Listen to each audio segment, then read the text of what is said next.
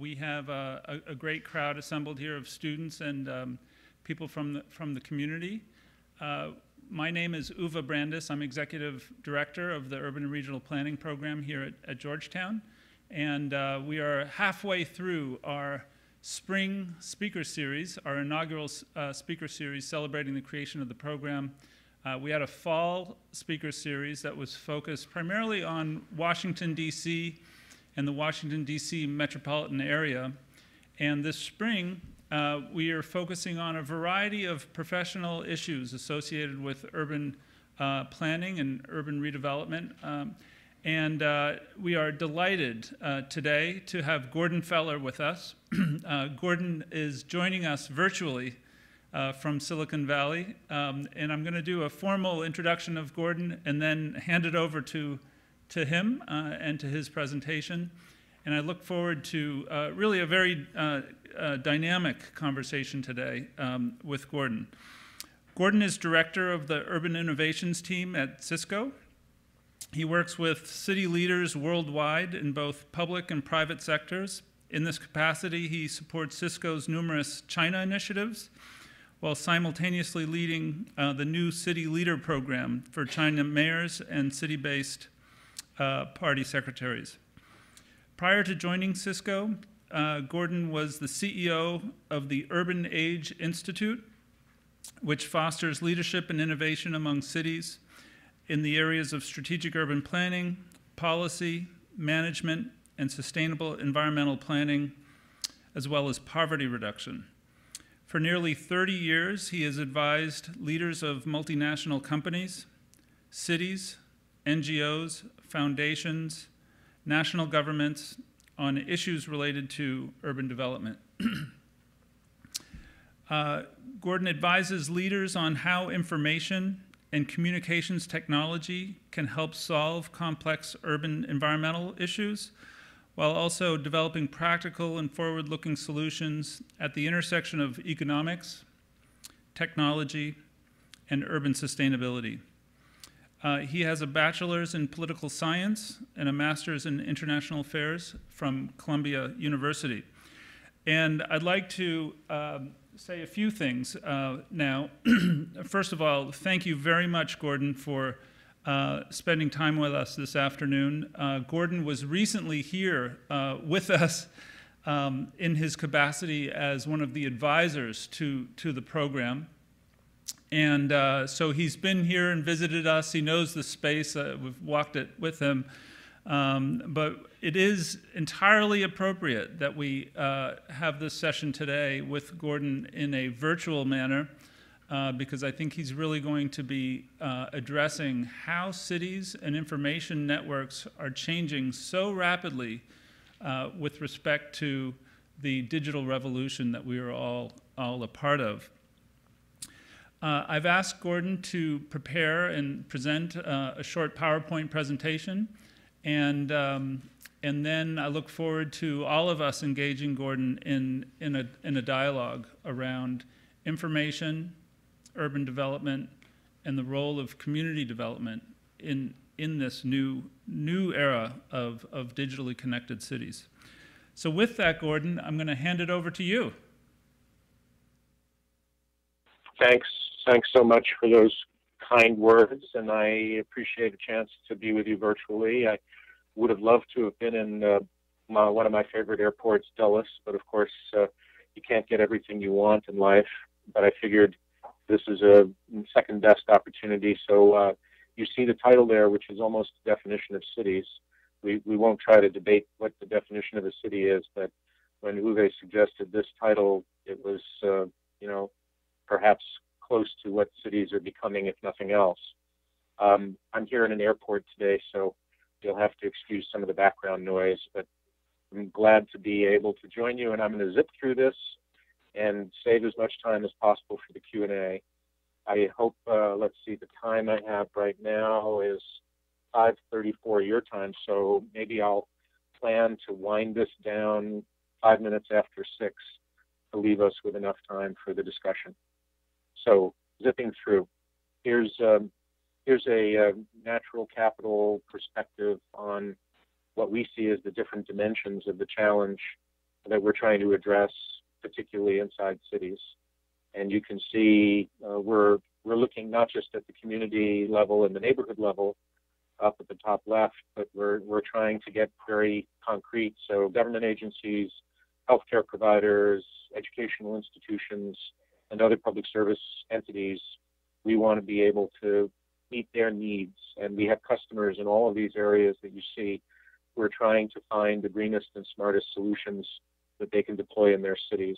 And I'm going to go into some of the details. Uh, it wouldn't be a Silicon Valley presentation with a lot of fancy, without a lot of fancy graphics and without some uh, eye-popping eye charts.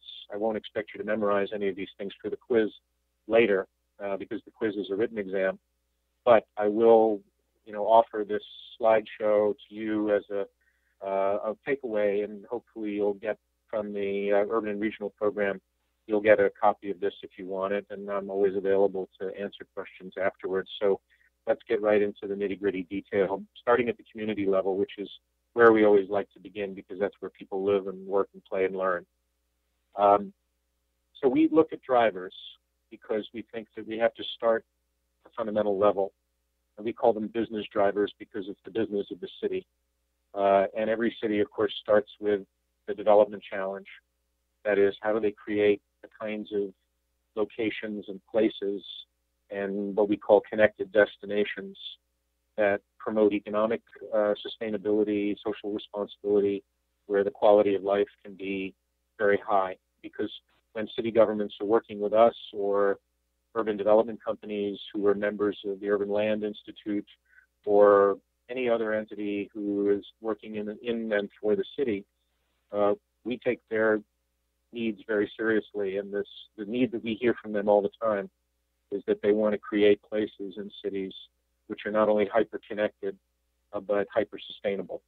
So we look at a lot of different types of segments of the city because, of course, our customers manage and own and operate these places, whether they're retail or commercial, whether it's municipal government or another type of government office, whether it's an educational facility, or a residential or a workplace. And um, we're always looking at the question from the standpoint, again, of the business driver how do we add value, which shows up in a very tangible way as increasing the value of the property and the return on the investment for the investor or the lender, but also the government who's taxing that property. Um, and finally, you know, we're we're interested in the branding challenge because every city is now becoming very focused on their brand and their differentiator, their strategic differentiation in the competitive marketplace where cities are competing with each other for talent and for capital and for investment. So we have these operational principles there on the wheel. And we start with community, but we realize that what enables uh, a community to happen is the connections between people. And we try to facilitate that by providing the technology that enables connectivity. Um, but we really want that to have an outcome, which we think is is what we call the healthy living agenda, and that means healthy communities, not just physically healthy, uh, but emotionally, environmentally, um, socially, uh, culturally. We take it we take it in a holistic context, which is why we try in that wheel to identify many challenges at the operating level that we want to be able to solve. And the, the building, the connected real estate, as we call it, the CRE, at the building level, we have to work not just with architects, designers, planners, engineers, uh, but the building owners and the building managers, and ultimately the tenant who wants to know that something different is delivered to them other than an extra premium on the price for a green building. So this is one of those eye charts. Um, and you know it, it goes back to what we do. We're an infrastructure company, so we have what we call foundation technologies, the fundamentals like fiber to the home or fiber to the workplace. That's what FTTX means on the top left. Uh, obviously, you have, to have voice communications. That's a foundation. You have to have uh, IP-enabled television, uh, digital television, all of the others that you see there. And I won't I won't uh, bore you with all those details now. We can come back to any of these. And then on the, on the right column, you see the services that we think are going to be most relevant. And in every city, of course, and with every urban development project, the mix of foundation technologies and service technologies is going to vary. So yesterday I met with a developer who's redeveloping a site in Toronto, a multi-billion dollar investment, the largest urban development project in North America when it gets started, um, bigger than any of the others that you've read about, for instance, Hudson Yards in Manhattan. And they're going to probably have all of these things because they're going to have tens of thousands of people at their location every day. And they need to know that they can provide not only physical security and digital security uh, and a healthy environment that's constantly monitored for airflows and air quality uh, or sound and the, aud- the audible range of noise, but a lot of other things that not only are monitored, but, and this is the critical piece to, to keep in mind, we not only want to enable the monitoring of what's happening, but also the management, which means changing. When you see something in the monitoring system that tells you a door is open, which shouldn't be open, or a certain kind of air quality is showing up, which is not a healthy air quality, uh, then you want to change that. So monitoring is never enough.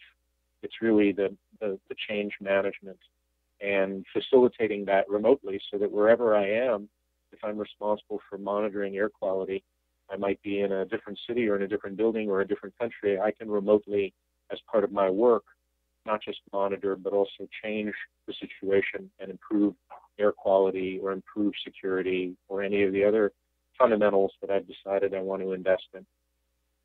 So let me skip ahead, not bore you with too many of these details, and really talk about what we think are uh, the bottom line ingredients, the, the absolute musts, the must haves rather than the nice to haves.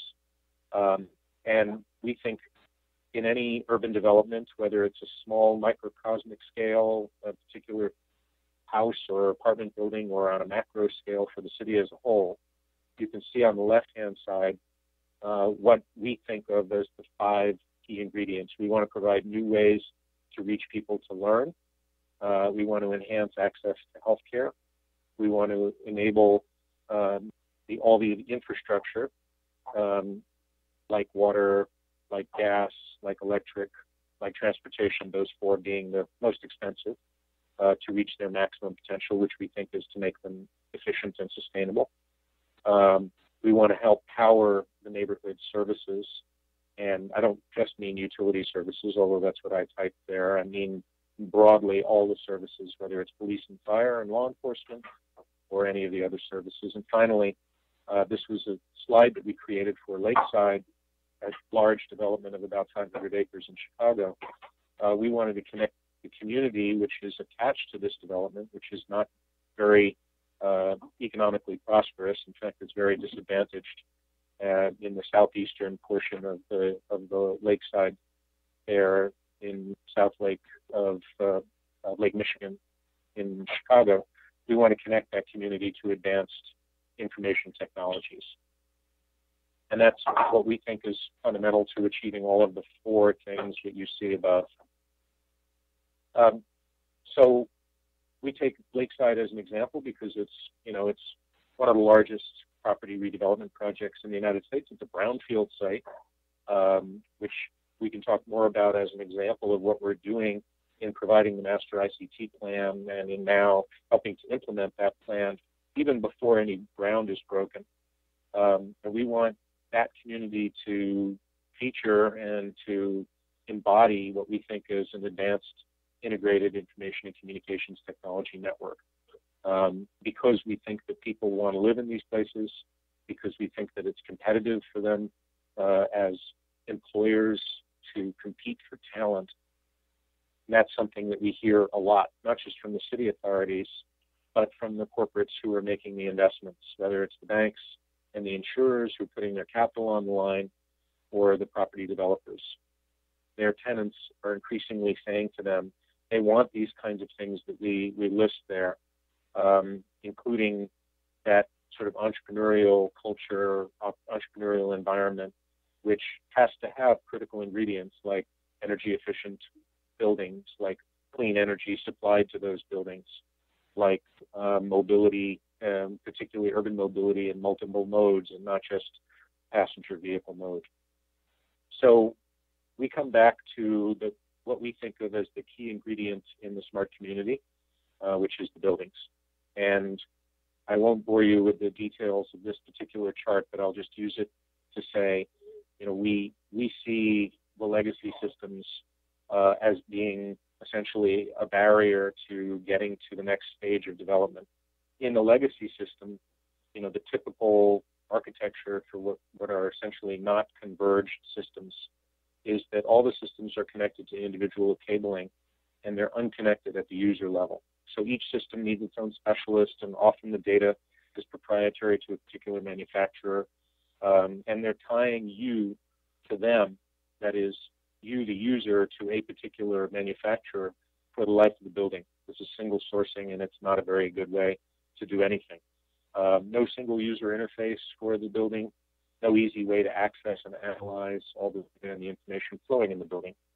Uh, this not only wastes a vast amount of natural resources like the copper that flows in the building or the fiber, uh, but it's also more expensive to install and maintain it. And it's very difficult to upgrade when the technology changes, uh, often does change. So, you know, the fundamental ingredient here is there's no interoperability between the siloed um, solution applications.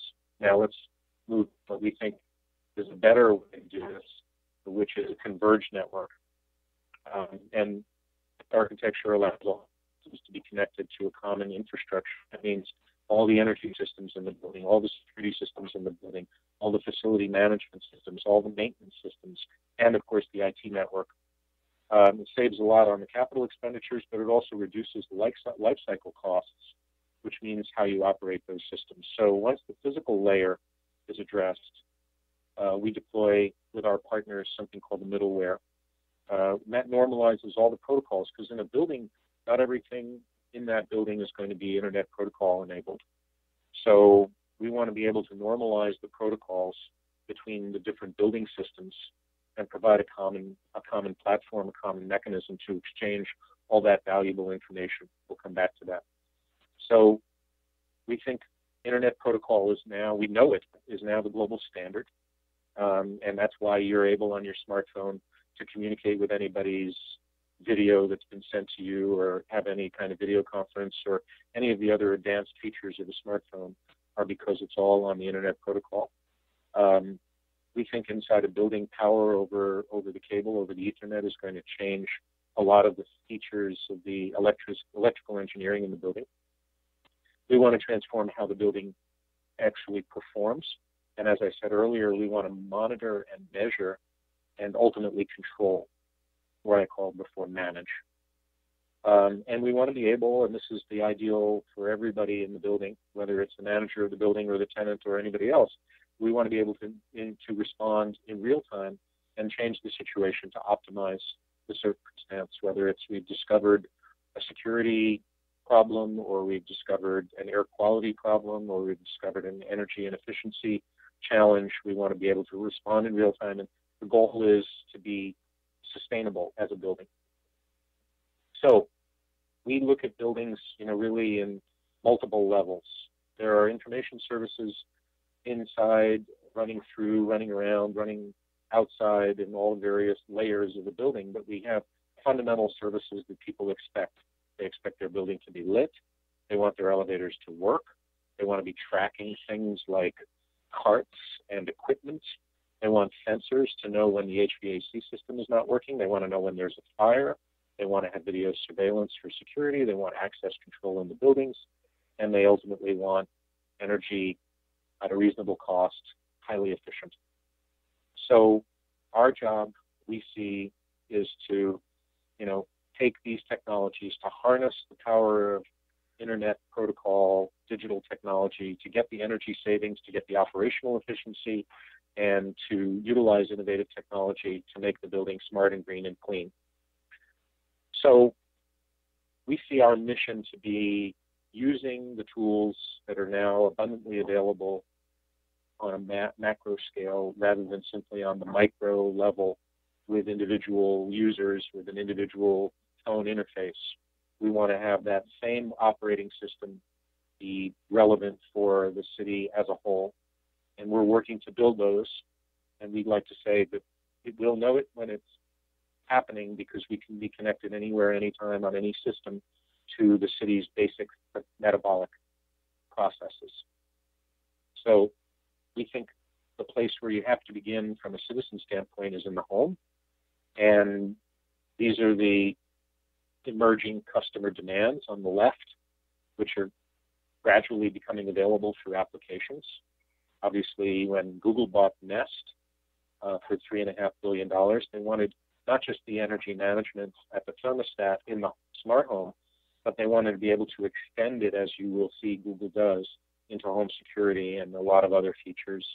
Um, and they are also, of course, going to have the effect of disrupting the traditional residential construction model uh, because, you know, as communities develop and grow and they struggle with a lot of different types of complex and conflicting priorities, uh, such as safety and security or the efficient delivery of services, um, we think that the fundamental ingredient is going to be that different properties will have different areas of focus, but the smart and connected home, the smart home, is going to be a platform that allows a variety of services and applications to be integrated. And we're working with a lot of the developers who are building these kinds of homes. Um, and they see this as a business that has a lot of opportunity. Um, it was only $5.3 billion worldwide in 2010, but you can see the jump in 2015. I think that 11 billion actually is a, a fairly modest number compared to what we're seeing, which is tremendous growth in this area. I heard yesterday from one of the primary um, telcos in Dubai, and they're launching a whole new business focused on the smart home and using their telecom services as the enabler to enable new services delivered into the home. So you can see here on this chart the kinds of smart home capabilities. They're not that dissimilar from the smart connected building, commercial building, or retail facility or even manufacturing facility. Uh, but there are different applications that are relevant. Um, lots of people want to be able to have the lifestyle at the bottom as a fundamental feature. This is not a nice to have. For many people who can afford it, it's a must have. And this is becoming increasingly popular, and perhaps that's another reason why Google bought Nest. Uh, but we think at every level, the technology is available now this is not rocket science. Uh, this is not futuristic. This is currently available. The question is how to integrate these things so you don't have 25 competing systems, each with unique uh, unique applications that need to be run separately. How do you integrate this to make it seamless, and easy for the end user, the home resident, to be able to access these services and monitor whether it's monitoring your refrigerator and turning it down because they're going to be away for more than six hours and they know that they can reduce their energy budget by remotely reducing the total energy consumption and doing that remotely and managing that and monitoring that remotely.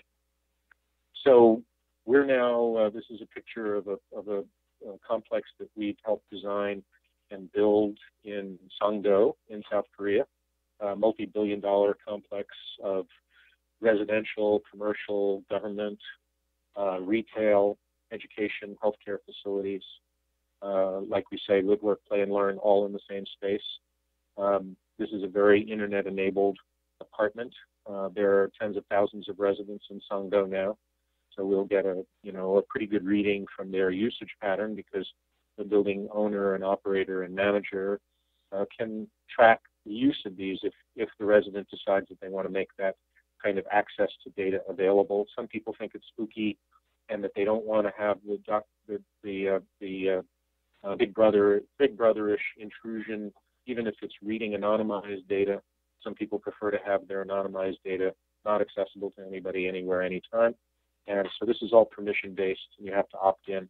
But the idea is to know how well certain features are being utilized and how often so that we can constantly improve not just the quality of service, but the types of services that are available in different categories.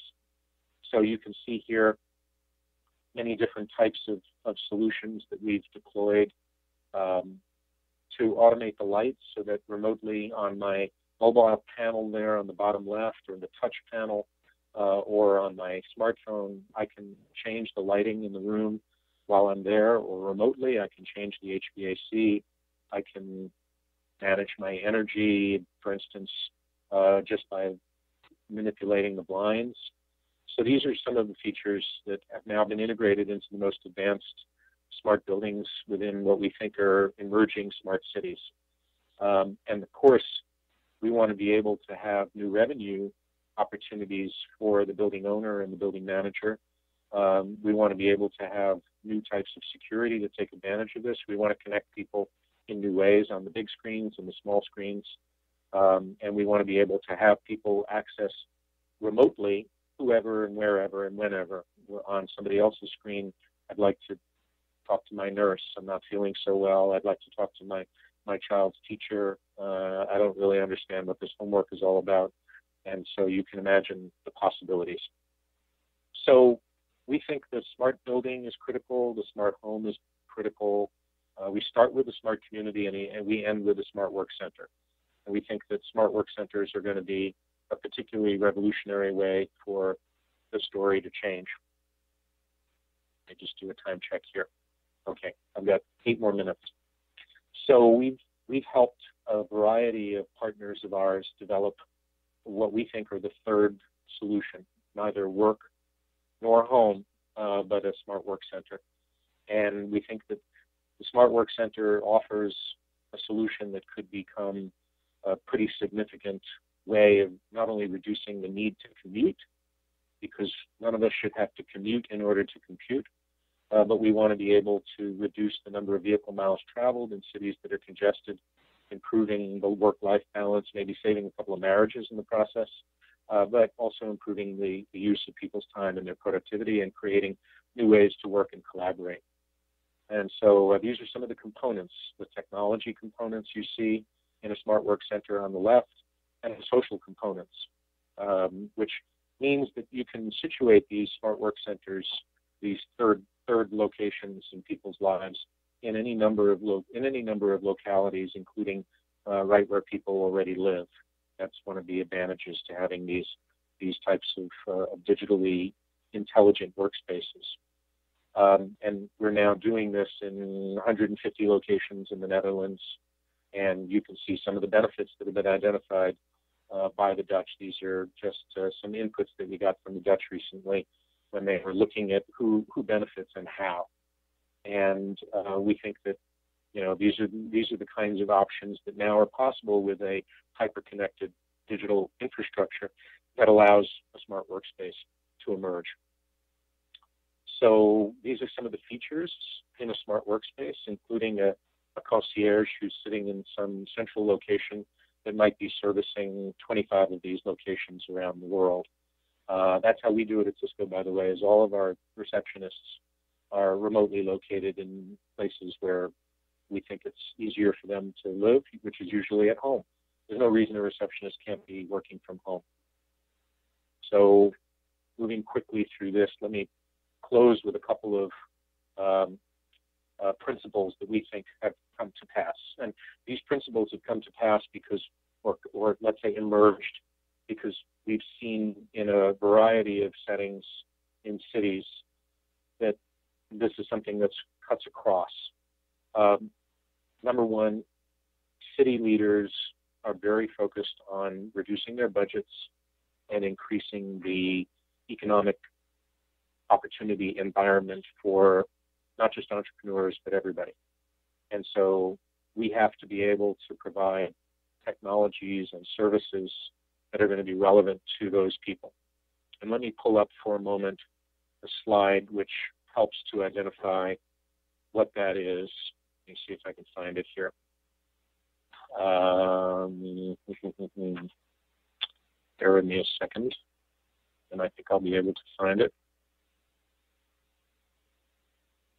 Maybe not.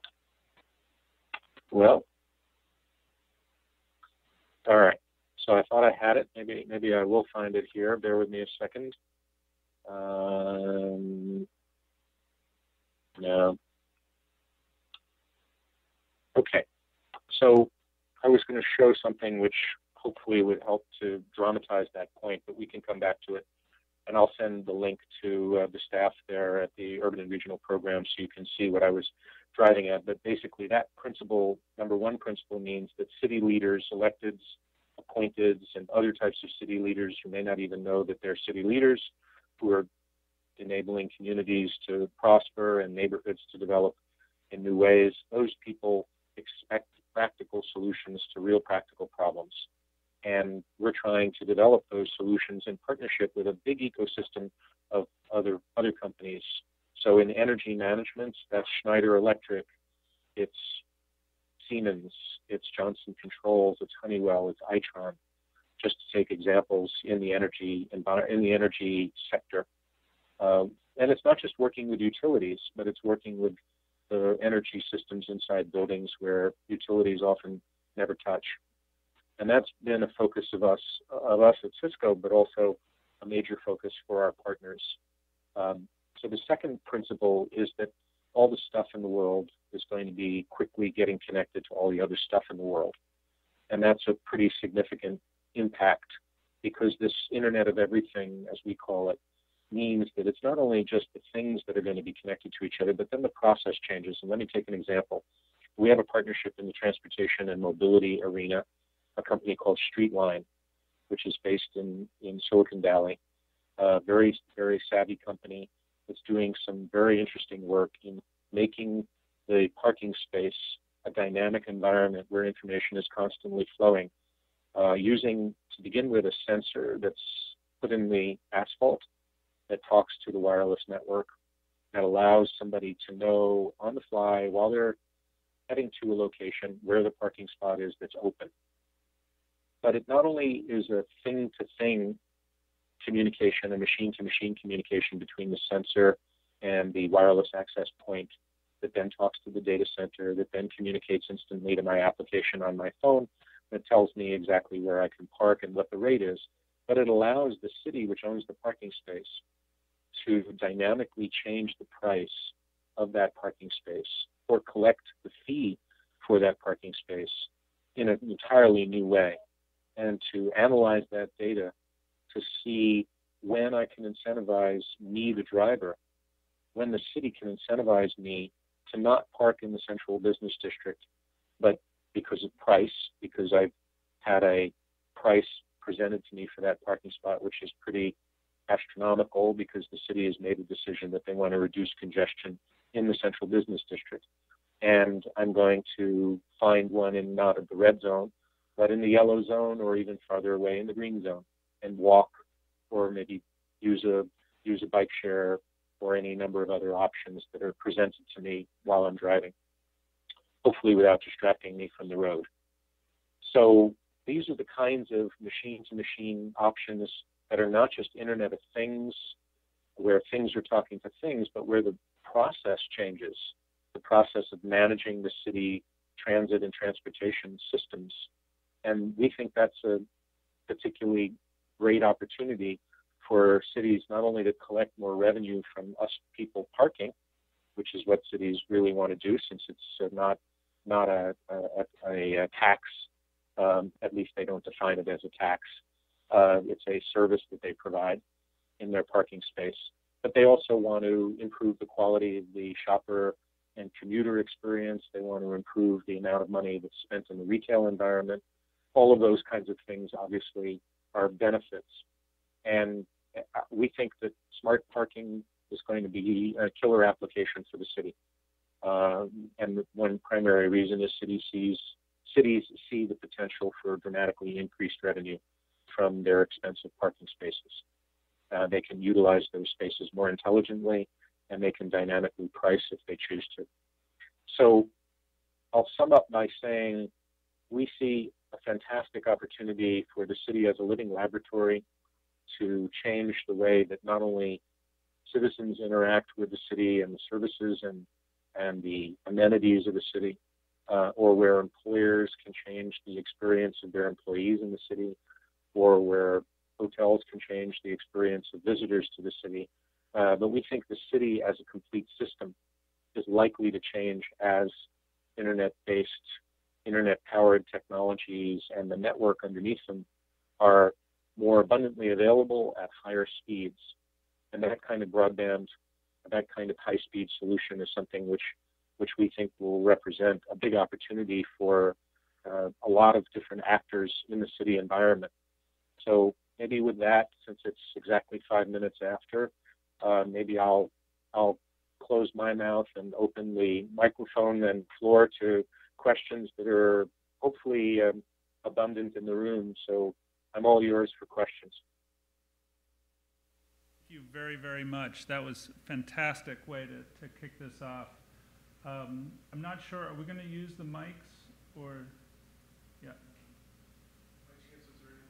Okay, I, I'll, I'll take the mic around, but as, as I grab the mic, Gordon, um, can you reflect just one thing that I didn't mention in, in uh, your introduction is um, you, you are not always in Silicon Valley. You, you spend a lot of time on the road. You meet with lots of both industry leaders, but also many, many public officials who are seeking to um, uh, leapfrog their city in, into this future. Uh, could you reflect on who's in a leadership position in this incredible transformation? Is it all of us, or are public officials still in the lead in terms of thinking about the future planning of, of their communities? If you could just reflect on leadership and how that's distributed across the public, private, and nonprofit sectors of cities. Sure. So, uh, you know, we see different types of leaders for different types of elements. So, one element, of course, is who has the infrastructure that can enable a new solution like Streetline to emerge. So, clearly, cities own the parking spaces, and you can't innovate around parking unless you have access to the actual parking space itself. So, we have to start with whoever, and we think this is a critical piece of the puzzle that now is falling into place. We have to get the key infrastructure owners to make access to the infrastructure available for innovative technologies to plug in. And that's what we did. You know, the first city to really become a major adopter of this is a small city in Silicon Valley called San Carlos, which is close to uh, San Francisco Airport. And they deployed this Streetline uh, sensor-based wireless system in the parking spaces in the downtown of San Carlos had a tremendous impact on the uh, you know the actual flow of cars to parking spaces because a lot of people like those of us in the room spend a lot of time wandering around with our cars looking for parking spaces. So number one leader has to be the infrastructure owner and operator. The problem is many of them, frankly, are old line companies like the utilities.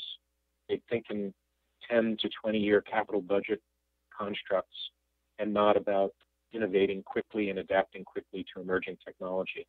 Um, I say that with one fact in mind, a lot of them are our customers. So we're pushing very hard for the infrastructure owners. So the good news is, you know, in Detroit, for instance, the primary energy utility, in fact, the sole energy utility, DTE, Detroit Energy, Detroit, Detroit Edison, is very quickly adapting, and they're a real leader in this area. And during the Meeting of the Minds program in the fall, on September 30th, October 1, October 2 in Detroit, they're going to be showing off about a dozen demonstration projects that they're doing, uh, timed to show off during the Meeting of the Minds, because they're looking at how can they accelerate the adoption. So, one quick answer to your question is there are lots of different actors, and they're all at different stages the most critical, the most important is going to be the owner of the infrastructure. That's a quick answer.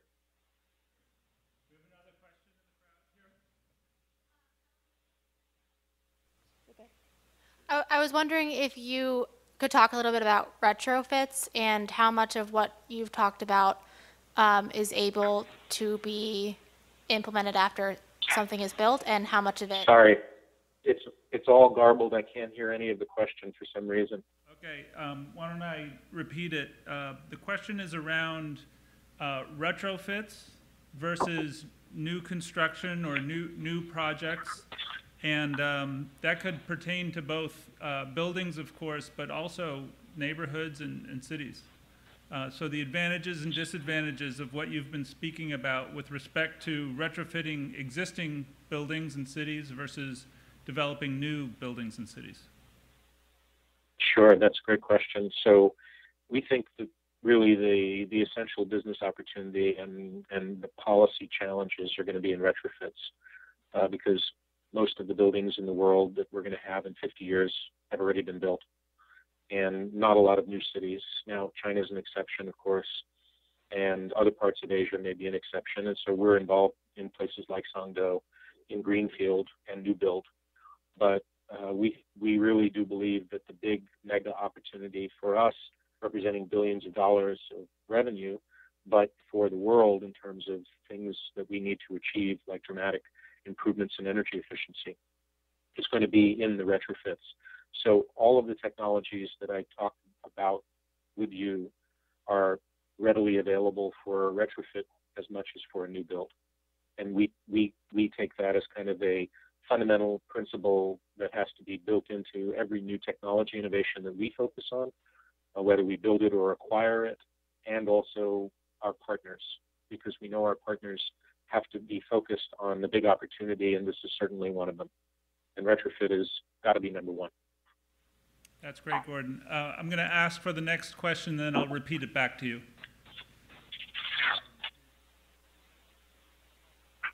Technology, how, what are the ways that you're thinking about using that towards um, combating crime, violence, and public safety um, in inner city neighborhoods? Uh, so, Gordon, uh, this is actually a really interesting question. The, the, the example that you gave with respect to the parking lot management, um, that is, of course, is just one example of an urban system or an urban issue.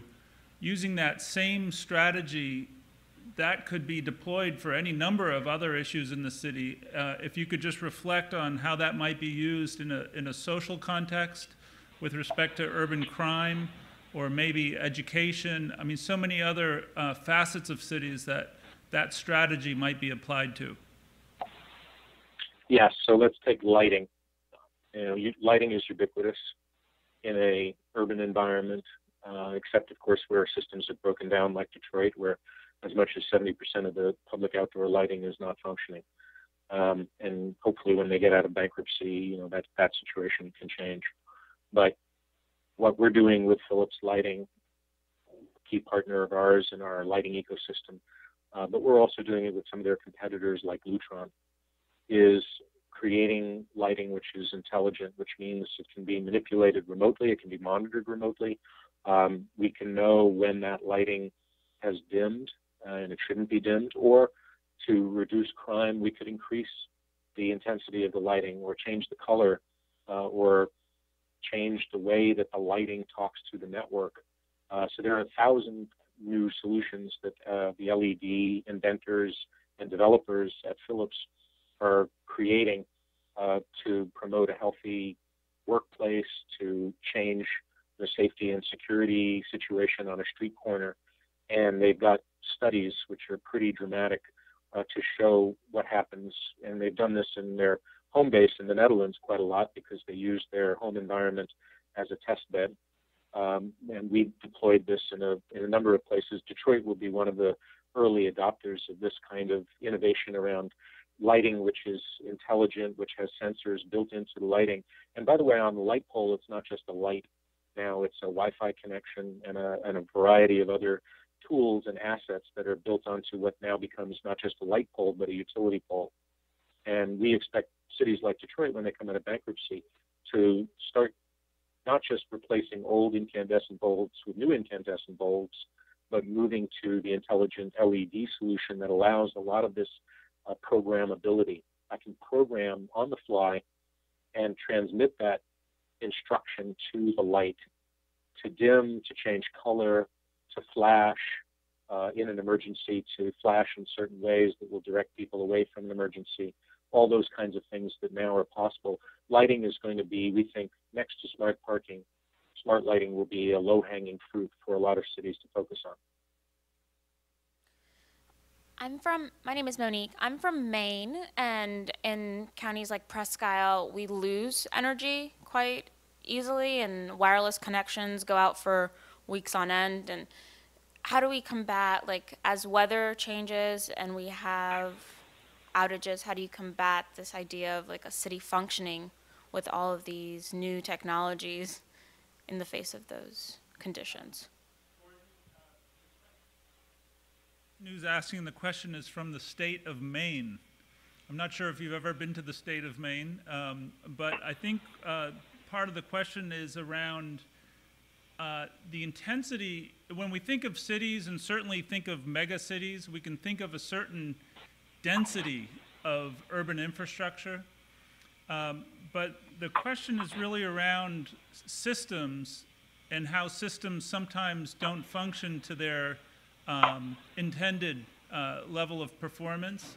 Um, with power uh, networks sometimes going down related to storm events. Um, sometimes uh, there are certainly um, digital divide issues related to uh, geography of urban rural uh, splits. Um, if you could reflect on um, the future scenarios where the systems don't function in the manner in which they were optimally intended to. Sure. Well, you know, the, the origins of the internet um, were built around this question. And so when, when Cisco was born almost 30 years ago, it was born because the federal government funded a program which was designed to address this problem for the communications infrastructure of the United States. And the question that DARPA was asking is how to create a robust and resilient communication system that could survive a nuclear attack, uh, which seems to us, you know, to be not so relevant, although maybe with the processes underway. All right, can you can you hear me hear me again? Good. All right, we're back. So, um, so we had a system failure because that was designed as a demonstration project for this question, by the way. Um, now you get my point. So, so we had, you know, in the early 1960s uh, to, to, to middle late 1960s, you know, a big uh, problem that the federal government was trying to solve, and um, our two co-founders uh, were facing a similar challenge, which is there were a bunch of, of internet type systems that had been set up, but there was no common protocol. So they were all different protocols. And uh, the first Cisco device was a multi protocol device that allowed for two different systems that didn't have the common language to talk to each other because actually the husband and the wife, who were the co founders, were on the Stanford University campus and one was in a system with one protocol and the other was in a system with another protocol. But they actually had to communicate with each other regularly about who would get dinner together, who would leave work and pick up the kids, and who was going to walk the dog. And so, lo and behold, you know, a system was not functioning well. So this was not a nuclear attack, but ultimately, the the the, the, the defining characteristic of the internet was it never goes down because of the way it was designed. Um, from the outset, it was designed to be very robust and resilient with no center. There are multiple multiple centers, and this highly decentralized, highly distributed capacity that was fundamental to the architecture is what's going to happen with the next generation of electrical grid, uh, which is what we're working with companies like Itron to enable the smart grid. We can talk about you know all the pros and cons of smart grid investment, but essentially the idea is 99.999 uptime. And we actually sign legal contracts that say we guarantee you know, that level of service. The service level agreements that we sign have six or seven nines attached to them, sometimes only five nines.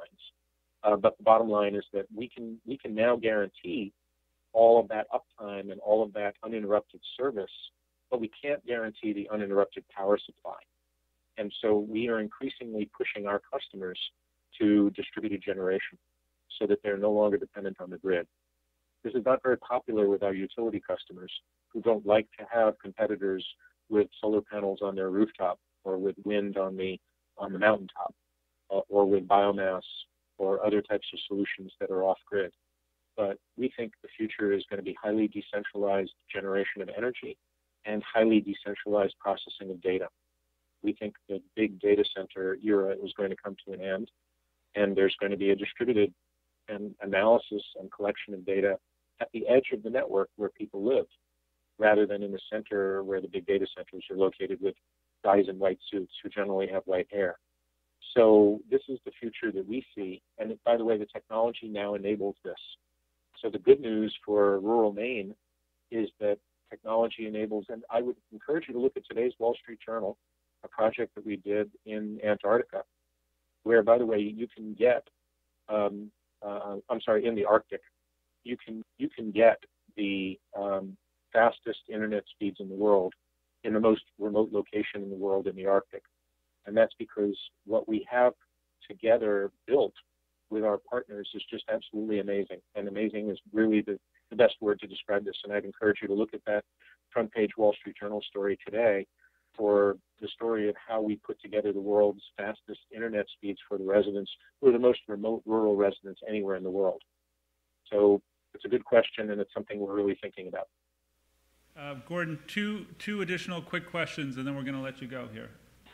Um, my question is basically just about affordability of the smart homes. Uh, how soon? What's the time frame? He might have already covered it. I might have missed it. But when that becomes commonplace, like a cell phone or a touch pad, you know, where every household has it, uh, and it's affordable for the regular person, not just, you know, a special project or the uber rich to have that technology in their home.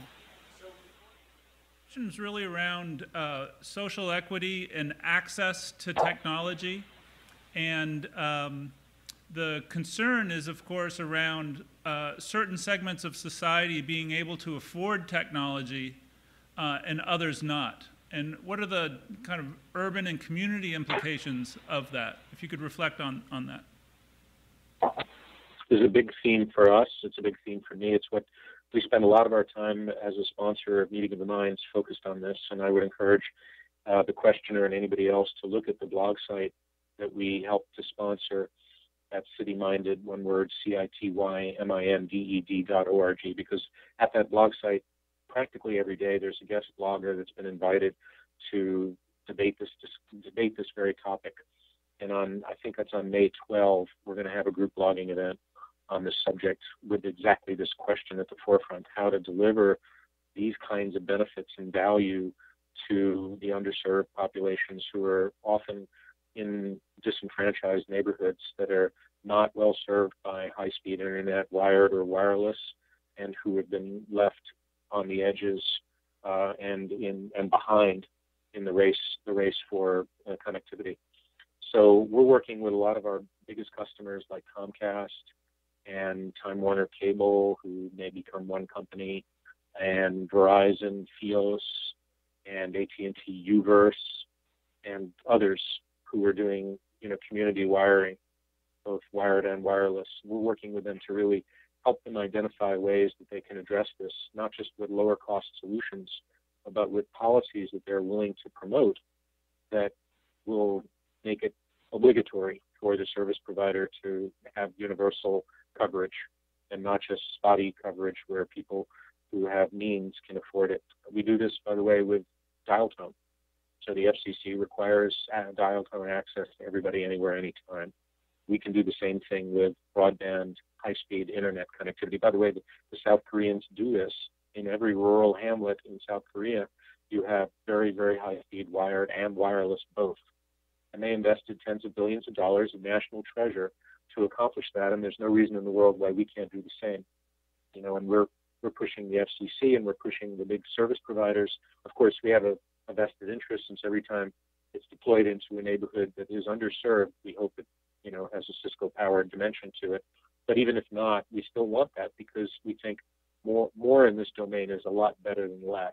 So we have a bunch of initiatives as a company, including something called the Network Academy, and that's funded by Cisco Foundation.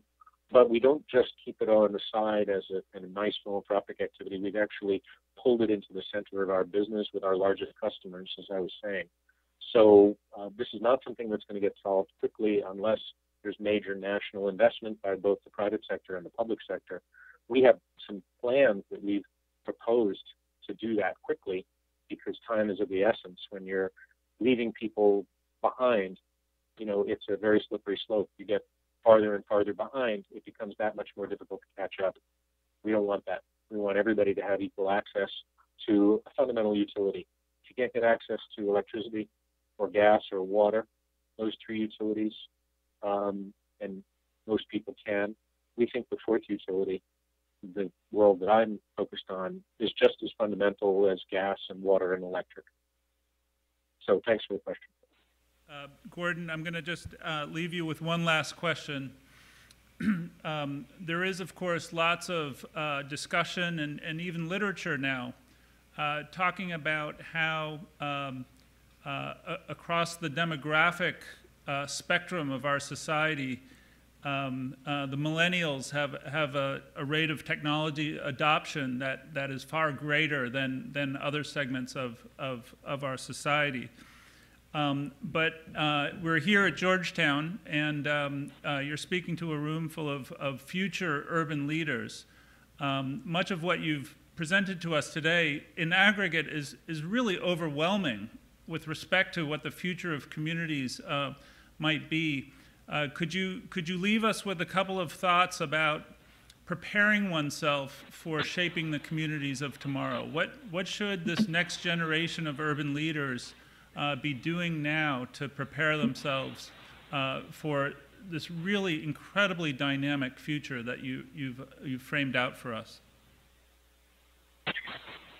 Well, maybe to start with, I would advise millennials to not compromise with their parental units and the folks who are that ilk, ilk and age and generation.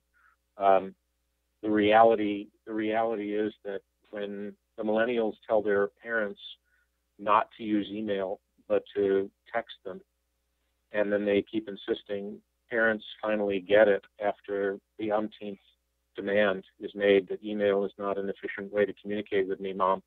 You should try this texting thing because SMS is pretty powerful.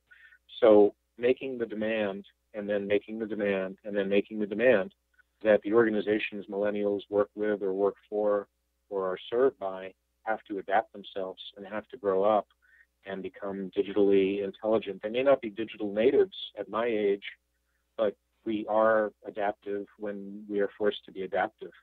And so I, you know, I would say number one, no compromising. Number two is make the rules. Just don't remake the rules, but change the game. So the old rules don't work, and new rules in an old game are not as good as a new game. And my suggestion is whether it's in the context of an employment relationship or friendship or a government service relationship between citizen and government or any number of others, use use that guideline and not just play by the rules, which is not tolerable, and not just change the rules, which is a big pain to do, but to go for the big prize, uh, which is change the game. So those would be my two biggest suggestions. They're obviously very vague in general, uh, but there are detailed kinds of implications for each of them. Um, I think you know millennials because they're digital natives, they're the natural leaders in this process, and they're going to show us the way. So we we better the old folks better listen carefully because we you know we do, we we do not listen, and then it's at our own peril that we don't listen. So please speak loudly when the millennials are speaking and listen up carefully because they've got something even if they can't articulate it thoroughly. The digital natives know what they're talking about because it's living and breathing in their bones every day, the digital environment, not just being playful about it, but it's fundamental like oxygen. There are only two states of being in the millennial generation. You're either asleep or you're on the internet. So on that note, I'll say thanks to everybody. Thank you very, very much. Uh, I'd like to thank you for your service and being an advisor to the program. Uh, thank you for your uh, insights today. Uh, we look forward to future engagement with you and with Cisco. Thank you. Thanks again, everybody. Have a good night there. Thank you.